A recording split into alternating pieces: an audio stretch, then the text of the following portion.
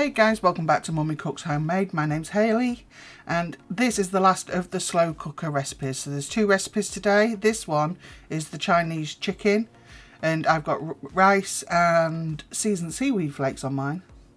So into the slow cooker.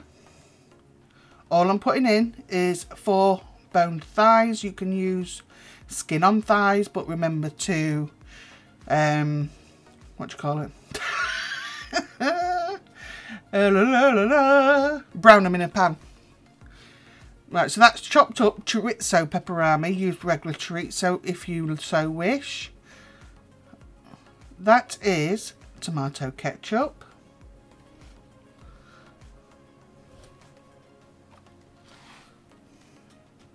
Soy sauce.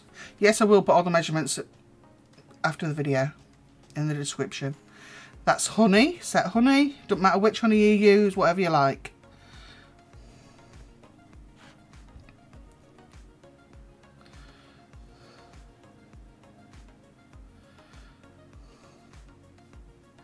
And this is a cook on high for two hours. So I've got five cloves of garlic. I've got some sriracha seasoning. You can use the liquid or the powder. Then I've got ginger and five spice and I've also prepared a seasoning bag. I do do my own seasoning bags. If, again, that, that'll be a short video, but if you would like to see how I do the seasoning bags, or my tea bags as I call them, then uh, just let me know in the comments if anyone's interested at all in that. So I'm just going to crush these in. Everything goes in. So this has been, the reason the garlic looks like that is because I get it in a kilo bag peeled and I put it straight in the freezer so when you take it out and defrost it it looks like that that colour. Bit harder to crush as well but it's worth it to not have to do it myself. Peel it I mean. In the bag I've got um, some black peppercorns because I don't want to eat those and two star anise which are awful when you put them in your mouth after you've been cooking them and you forget to take them out which I do and it's literally as easy as that. Nothing hard, nothing over exciting. That's it.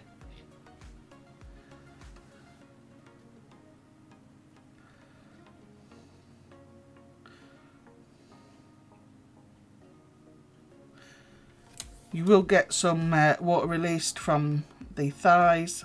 I'm just putting some of the soy sauce because it's all in one place over the other side.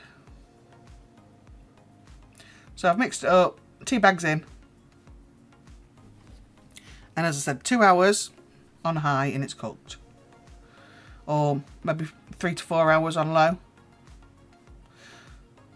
So I'm going to have a, a nosy. Look at that, looks thickened right up. Yum yum. This was what I posted last night, guys. So this is the one I posted last night.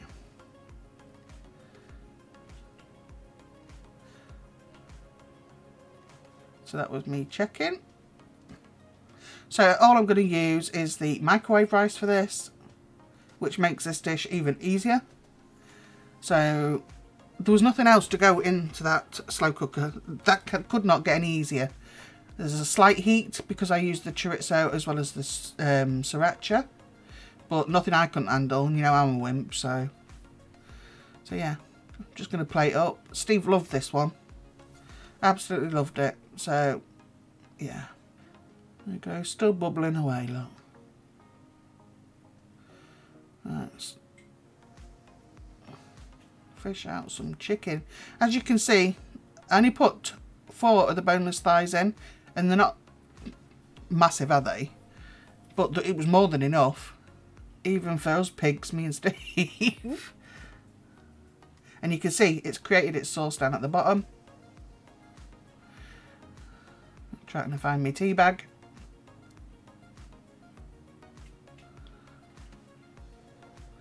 This was nice.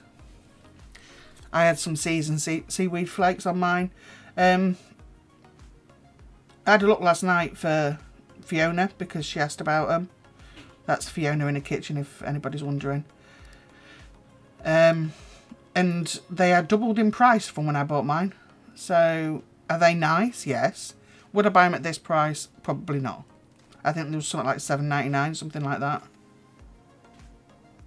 So no, it's it's uh, ridiculous the prices now. So yeah, I would highly recommend this recipe, guys, for anybody that loves chicken. I mean, look, sprinkle on some sesame seeds. My plate's next to it with the lava. Oh, seaweed, whatever. There, I just mixed it in with the rice. And we had um, some shop bought prawn crackers. It was as easy as that. And it was very nice too. So, this one, this was nice.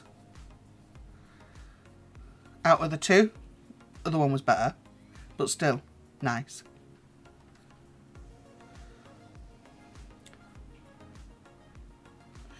So, Steve was really not impressed that I didn't use a liner. oh well, done now. What can I say? So I'm putting in garlic oil. You know I always use garlic oil.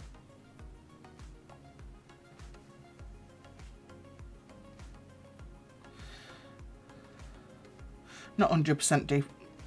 Was it this one? Oh, they are defrosted because Steve got them from shop. Yeah.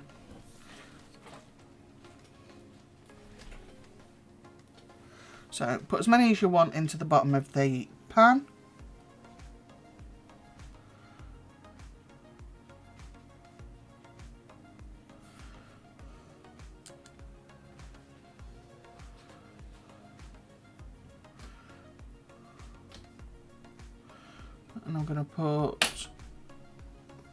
Cloves of garlic in.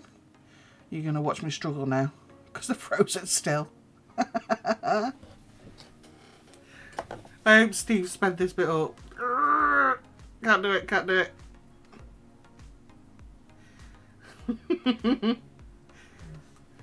oh no, you're not going to watch me suffer. Surely. I think it's left him.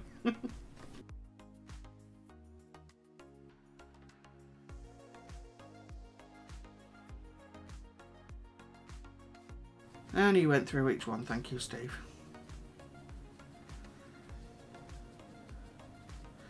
I'll get there eventually. Four cloves, guys. So I'm just chucking in some mushrooms. I used about 250 grams.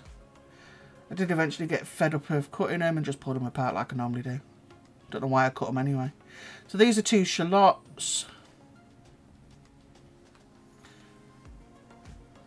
I would use probably half an onion full if you're going to use a full size onion.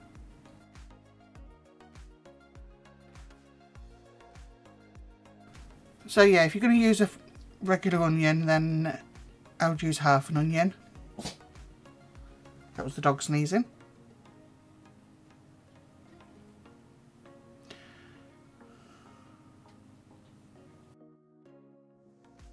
So I've got some little chantenay carrots that were left from Sunday.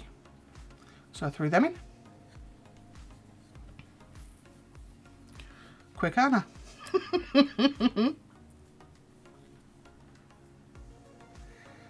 and then I've got some baby potatoes. I did put too many potatoes in this. So yeah, just be aware of how many you're throwing in.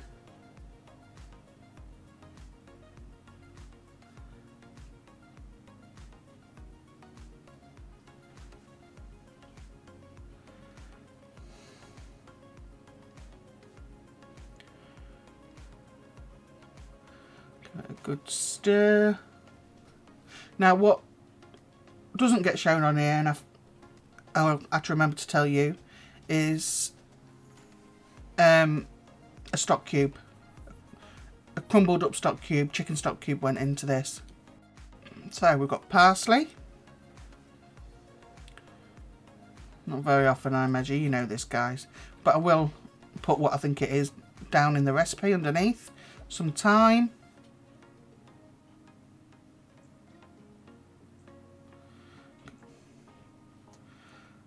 Some S&P.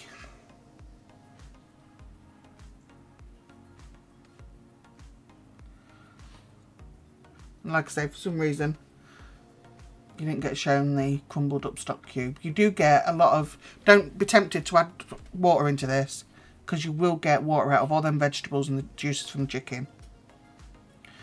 And I pop that on. This I cooked for four hours on high or it would be eight hours on low. So just coming in to check.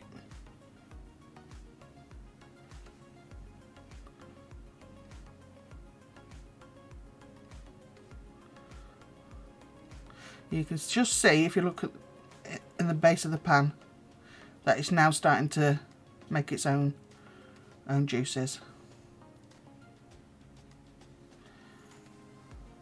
so I'm going to add in probably a couple of tablespoons of butter. Maybe a bit more.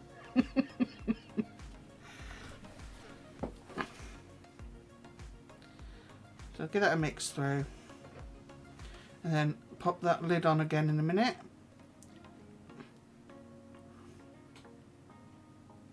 So at this point now I'm going to throw in some parmesan is parmesan chicken slow cooker style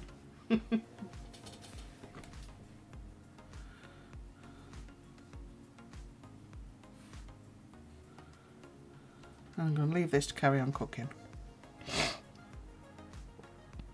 Try not to touch the chicken too much because we all know when chicken goes in it's uh, it does tend to get so tender it falls to bits. So I'm coming up on the end part of this. So now what I'm doing is I put some tenderstem in. Tenderstem doesn't take long to cook. And then once that was half cooked I put more parmesan on top. Pop the lid back on just to melt down the parmesan. And then served it. On this day I was uh, particularly hungry. So I did have some uh, bread on the side with this and that was the final product. Product? Listen at me. So I thought I'd finish with two chicken ones because I have a certain subscriber whose husband is very fussy. So these are for her to try on him. Just adapt them to what you like. So yeah that's the end of the slow cooker series for this year. I'm quite happy to come back after Christmas and do another one if that's what you want. But I've now got the bread one to put out before the 12 days of Christmas start. So thank you so much for watching guys. I'll put the recipes in the description box and I hope you give them a try. And I will see you in the next one. Bye.